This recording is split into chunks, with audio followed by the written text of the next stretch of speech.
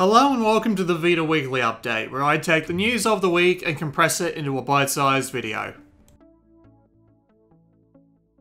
We Are Doomed, twin-stick shooter from Vertex Pop, is coming out in North America on the 9th of February. The game will be cross-buy and has been confirmed to have PlayStation TV support.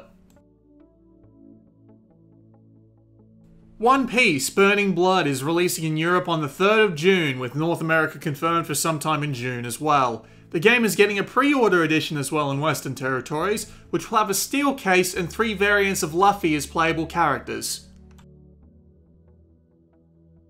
Two more Western dates here. Stranger of Sword City has been delayed to April 26 for North America and April 29 for Europe. Civilization Revolution 2 has been delayed to later in the year, missing its launch date and PSP game Breath of Fire 3 is making an appearance on the North American PlayStation Store sometime in February for $10. The game has already been out for a while in Europe. Two dates for Japanese things here. Hero Must Die is getting a demo in Japan on the 10th of February. And Coven and Labyrinth of Refrain, NIS's dungeon crawler project, has been delayed to June 23.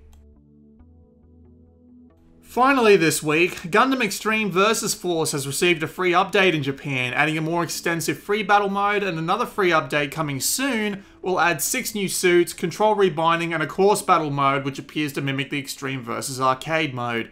It's assumed that these modes will be added to the western version when it releases. That's it for this week.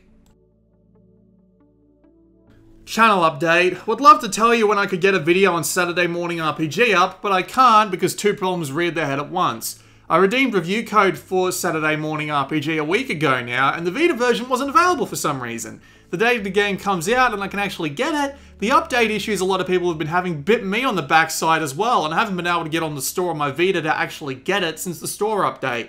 So when will I have a video on that? No idea, up to Sony to sort that out. More videos will come when Sony manages to fix what they somehow broke.